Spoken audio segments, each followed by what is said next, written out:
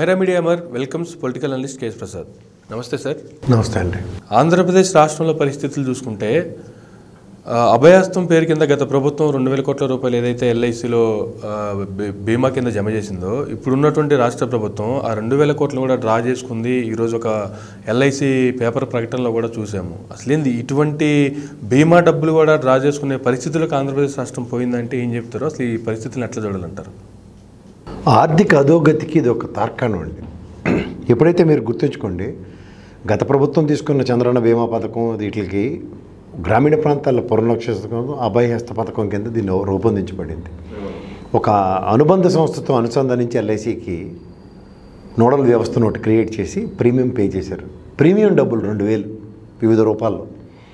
Premium డబ్బులు కూడా withdraw చేసుకుందంటే ఈ గవర్నమెంట్ అసలు న్యాయంగా అయితే స్కీములు రద్దు చేయడం చూస్తాం గత ప్రభుత్వాలు. ఏమైనా దానికి కట్టిన ప్రీమియం కూడా వెనక్కి తీసుకుంది అంటే అధ్వానమైన స్థితిలో ఉందో.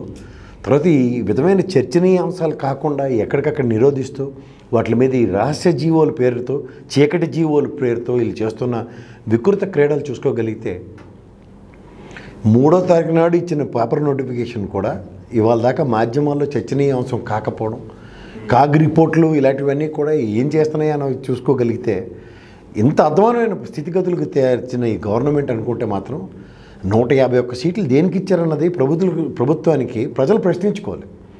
ఎప్పుడైనా అపోజిషన్ పార్టీలని కాదని గలవని మించి అపోజిషన్ పార్టీ లేకపోతే ఎంత కష్టంగా ఉందో చూడమనండి ఒకసారి ప్రజలకి. స్థితిగతుల మీద తీవ్ర ప్రభావం చూపిస్తున్నాయి. అందుకే చూడండి గ్రామీణ స్థితిగతుల్లో ఉన్న రోడ్లు ఇలాంటి విషయాల్లో కూడా దయనీయమైన పరిస్థితికి ఒడిగడుతున్నాయంటే వీళ్ళ దగ్గర ఏ విధమైన డబ్బులు లేకపోవడం. అంటే కొన్ని ప్రాయోజిత కార్యక్రమాలు నిర్వర్తించడానికి గత ప్రభుత్వాలు తీసుకున్న ఏవైనా సరే ఉదాహరణకి ఈ మాటకు వస్తే రాజశేఖర రెడ్డి గారు ఆయనలో ఎన్నోసార్లు చర్చించుకుంటున్నప్పుడు ఈ ఆరోగ్యశ్రీ పథకం కానీ ఫీజు రీఎంబర్స్మెంట్ ఇలాంటి పథకాలు ఏమైనా ఉన్నవి చచ్చినట్టు వచ్చిన ప్రభుత్వాలను నిర్వర్తించే కదా. ఇప్పుడు వాళ్ళ ఆయనలోనే వెంటనే రోసయ్య గారి గవర్నమెంట్ కిరణ్ కుమార్ రెడ్డి గారు గవర్నమెంట్ వినూత్న పథకాలను డిజైన్ చేయలే కదా. ఆ ప్రభుత్వ పథకాలని కంటిన్యూ చేశారు. తర్వాత వచ్చిన చంద్రబాబు నాయుడు గారు ఈవెన్ కేసీఆర్ గారు కూడా ఆ పథకాలను కంటిన్యూ చేస్తున్నారు కదా. వీళ్ళే విపరీత ధోరణికి పోతూ మిత్రధర్మం నిర్వర్తించిన చంద్రబాబు నాయుడు గారు గొప్ప లేకపోతే కుడుగ్గా ఉండి దా కనీస ధర్మం కూడా పాటించిన జగన్మోహన్ రెడ్డి గారు గొప్ప అనేది ప్రజలే ప్రశ్నించుకోవాలి.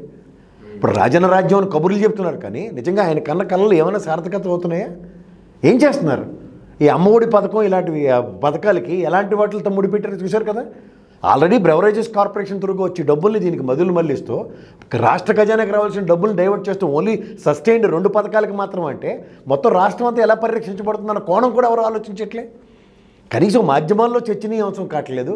ప్రభుత్వ విధానాలను ఎండగట్టే విధానానికి అపోజిషన్ పార్టీలు కూడా స్టాండర్నింగ్ లేకుండా వ్యక్తిగతంగా దోషాలకు మాత్రమే పరిమితం అవుతుంటే ఎన్నాళ్ళు ఈ విధమైన పరిపాలనలు చూస్తారన్నది మాత్రం ఆలోచించుకోమనండి ప్రజల్ని. రాబోయే రోజుల్లో ఇది కాదేది అనర్హం అని శ్రీశ్రీ రాసిన కవిత్వాన్ని నేను ప్రతిరోజు చెప్పాల్సి వస్తుంది.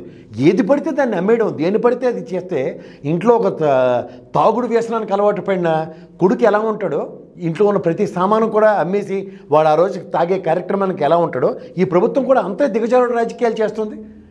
ఏది పడితే అది డబ్బులు అన్న పదం ఎక్కడ వినపడితే అందులోంచి అప్పు తెచ్చే మార్గం దాన్ని ఎలాగోలా తనఖా పెట్టే మార్గమే తప్ప మామూలుగా ఫంక్షనింగ్ చేసే కార్యక్రమం లేదు ఈ ప్రభుత్వానికి. ఇంతమంది సలహాదారులు ఇంతమంది ప్రభుత్వ ఉద్యోగులు ఉండి వాళ్ళు ఏం చేస్తున్నారో వాళ్ళనే ప్రశ్నించమనండి. ప్రీమియం డబ్బులు ఏంటండి? ఎన్నో సంఘాల దగ్గర నుంచి ఎత్తుకొచ్చిన డబ్బులు తీసుకెళ్ళి వాళ్ళని కూడా అప్పు చేసి ఏం చేశారంటే సమాధానమే లేకుండా ఎవరికి జవాబుదారితనం వీళ్ళు? ప్రజాక్షేత్రంలో ఎన్నికైన ప్రభుత్వాలా? ఏమైనా రాజరిక వ్యవస్థలా? ఎవరు ప్రశ్నించలేరపోతున్నారా సో ఈ విధమైన ధోరణి మాత్రం ఇది విపరీతమైన ధోరణి అండి. ఈవెన్ మాధ్యమాల్లో వచ్చిన అంశాలతో మాట్లాడుకోవాల్సిన దౌర్భాగ్య స్థితికి వస్తుంటే ఎక్కడికక్కడ జీవోల్లోనే ఈ రోజు నుంచి ప్రస్ఫుటంగా చేయమని చెప్పండి. రాజ్యాంగ అధినేతగా ఉన్న గవర్నర్ గారు కానీ లేదా సెంట్రల్ గవర్నమెంట్ కానీ ఇలాంటి విషయాల్లో ఇన్వాల్వ్ అయ్యి కేటగిరికల్గా ఫుడ్ డౌన్ చేయకపోతే మాత్రం చాలా తీవ్ర ప్రభావాలు ఎదుర్కోబోతున్నారు. అంటే ఎందుకంటారు అసలు ఇంత దయనీయమైన పరిస్థితులు ఆంధ్రప్రదేశ్ రాష్ట్రంలో ఎందుకు వస్తున్నాయి అంటారు ఇక్కడ ఫస్ట్ ఆఫ్ ఆల్ అండి వీళ్ళు ఈ నవరత్నాల పథకాలకి రాష్ట్ర బడ్జెట్ ఎంతవరకు పెర్మిట్ చేస్తుందన్న అవగాహన ప్రాథమిక అవగాహనే లేకుండా తర్వాత వీళ్ళకి వాస్తవ స్థితిగతులకు అనుసంధానించుకునే పరిస్థితి కూడా వీళ్ళకి దగ్గర లేదు. అంచేత ఎప్పుడైతే ఈ డిస్పారిటీ ఉంటుందో వీళ్ళకి ఏంటంటే ఏదైనా సరే ఇవాళ ఆ పథకం ప్రజలకు రీచ్ అయ్యి ఆ నవరత్నాల పదాలకి పథకాలకి మాట తిప్పలేదు మడం తిప్పలేదు.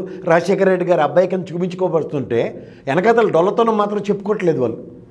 ఇప్పటి ముప్పటిగా చేస్తున్న ఈ అప్పులకి ఈ పెనుభారాన్ని ఎవరు ఎదురు చేస్తారు? ఆరు లక్షల ఎనభై ఏడు వేల కోట్లు అప్పు అండి ఇవాళ. రూపాయి కాదు రెండు కాదు. ప్ర- దానికి అర్థమయ్యే భాషలో చెప్పాలంటే ప్రజలకి ప్రతి నిత్యావసర వస్తువు ఏ విధమైన రేటు పే చేస్తున్నామో చూసుకోండి. గత ప్రభుత్వానికి ఇప్పుడున్న జేబుకి మీకు వచ్చే జీతంలో ఒక రూపాయి పెరుగుదల లేదు. నిత్యావసర వస్తువులు ఏ విధంగా కొనుక్కుంటున్నారో చూడండి ఇంక్లూడింగ్ కూరగాయలు.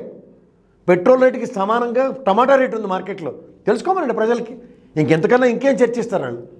ధన్యవాదాలు థ్యాంక్ యూ సార్ ధన్యవాదాలండి Please do subscribe Myra Media. Please subscribe Myra Media. Subscribe to Myra Media. Please like, share, and subscribe to Myra Media for lot of film news, gossips, and hot hot news.